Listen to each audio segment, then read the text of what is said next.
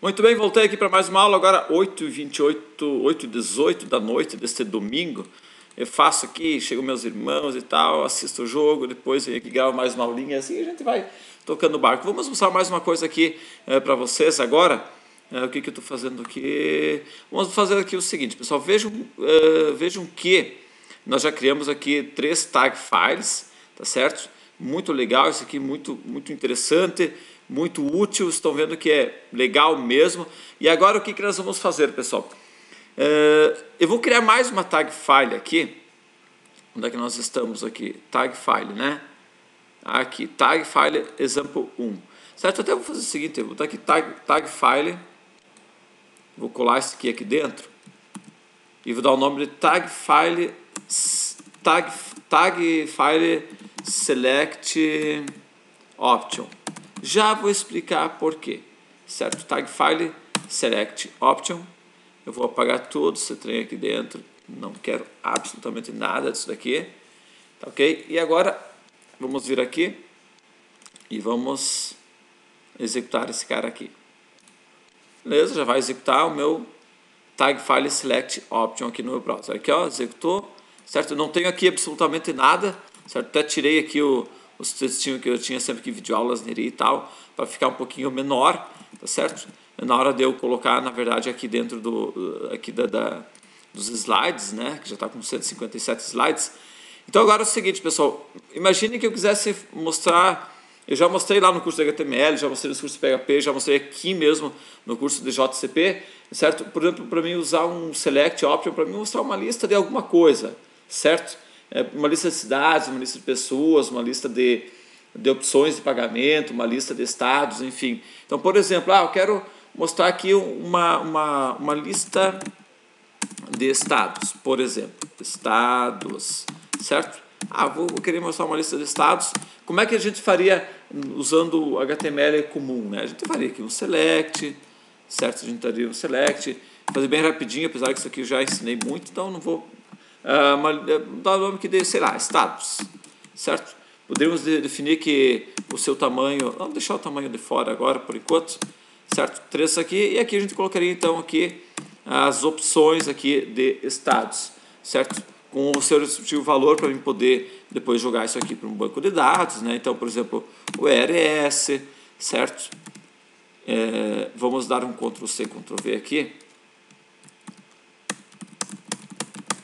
Aí vou fazer só alguns aqui para ser mais rápido. RS, Santa Catarina, Santa Catarina, tô subindo, tá? Paraná, estado que eu nasci, Matelândia, inclusive vou palestrar lá daqui uns dias, São Paulo, uh, São Paulo, tô subindo aqui, Minas Gerais, uh, Minas Gerais, e ah, vou botar só mais um aqui então, Tocantins, Tocantins, estado que eu morei também. Olha só, então você sabe que se nós tentarmos rodar isso aqui, obviamente ele vai estar mostrando lista de estados aqui, mostrou aqui para nós, tranquilo, né? Isso aqui é HTML comum, certo? Se quisesse de repente definir um, um tamanho aqui para poder mostrar ele aqui melhorzinho aqui, o tamanho 5 aqui, certo? Então eu já ia mostrar aqui, de repente um pouquinho melhor para você, certo? Veja que ele não está, não está múltipla escolha, está simples aqui. Beleza, eu estou aqui, então vocês já viram como criar. E aí, pessoal, vamos supor que eu quisesse estar criando um componente, é, um tag file para fazer isso aqui. Tem como fazer isso? É claro que tem, meu camarada. Certo? Só deixa eu dar aqui um BR aqui. Eu vou botar um. Só para a gente separar aqui. Como é que a gente faria isso, pessoal? Muito simples. Então vamos lá. Eu vou pegar. Vamos criar aqui. É, vamos criar um, um, arquivo vazio. Vou botar aqui então. É, select. Select option. Certo? Beleza. Veja select option mostrar que a gente vai tá, estar usando os dois com ponto tag. E aqui eu posso estar começando aqui o, o, meu trabalho. Então, pessoal, olha só. É, vamos... Eu vou copiar esses dois aqui. Não, vou copiar só o primeiro aqui. Então, olha só, pessoal. Select Option. Então, primeira coisa, normal, né? Colocamos o nosso, uh, nossa, nossa body content aqui, que é vazia. E agora a gente começa a trabalhar. Primeira coisa, pessoal, quais são os atributos que eu vou ter? Então, se a gente olhar para cá, eu tenho quais atributos? Eu tenho o atributo name, tenho o atributo size e tenho o atributo value, certo? Eu tenho esses meus atributos aqui. Então, é esse aqui que eu vou ter que criar, tá certo? Da mesma forma que a gente já criou os outros atributos, até vou dar um Ctrl C, Ctrl V no atributos aqui só para ser mais rápido. Então, uh, um, um atributo que nós vamos criar, deixa eu ver aqui, vou botar aqui uh, name, nome do select, certo? Vamos dar nome aqui, ó, nome do select, certo? Beleza, esse aqui é um atributo, vai ser obrigatório. Uh, um outro atributo que nós vamos criar, então, olhando sempre para cá. Ah, então vou botar aqui, ó, size do select, certo? Vou botar aqui então, Ctrl V, é, size select. Size do meu select, certo? E por último, né, nosso último aqui, olhando sempre para cá, é o value do option, certo? Então, estamos aqui, é, aqui então é o valor value do option, certo? Beleza, vejo que nós, nós tínhamos aqui, nós tínhamos aqui então 1, 2, 3 e acabamos de criar aqui então 1, 2, 3. É, esse tipo aqui, não, esse aqui não, não existe. Tá, esse cara aqui eu tinha copiado e não apaguei. Bom, então, estou com todos os meus atributos aqui criados, tá certo? Tranquilo, tranquilo. E agora o que, que nós vamos fazer? Nós vamos é, criar select. Veja como é que eu faço para criar um select. É isso aqui mesmo, tá? É só isso aqui mesmo. Vamos dar um Ctrl C aqui, certo? Vamos finalizar ele aqui. E aí, só que é o seguinte, em vez de eu trazer estados aqui, porque na verdade é o seguinte, pessoal, pode ser uma lista de estados, pode ser uma lista de frutas, pode ser uma lista de cidades, não importa o que, que eu vou trazer dentro dele, tá? não importa. Então, uh, simplesmente a gente vai trazer o seguinte aqui, através do Expression Language, a gente vai trazer então aqui o nome do meu select, nome do select, beleza?